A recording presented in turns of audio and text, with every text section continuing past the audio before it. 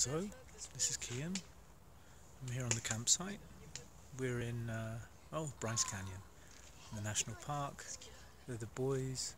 They're looking at a squirrel, which is very tame. They're also trying to catch up on a bit of homework. Oh, the squirrel's approaching. It's going near the fire. You see, we're cooking some dinner. I guess we've got some pasta on. anyway, so there's a squirrel. Super funny. There's our bigger tent. We've got a, a big two-man, four-man tent plus a one to two-man tent. So we typically got three in the big one and two in the small one. And then we have some laundry going on because we have to keep washing every few days. And that's oh, in the rental car we have a rental car, which we luckily got a bit of an upgrade. So we have a slightly larger SUV than we'd bought than we'd booked, which frankly is needed because we have quite a lot of stuff.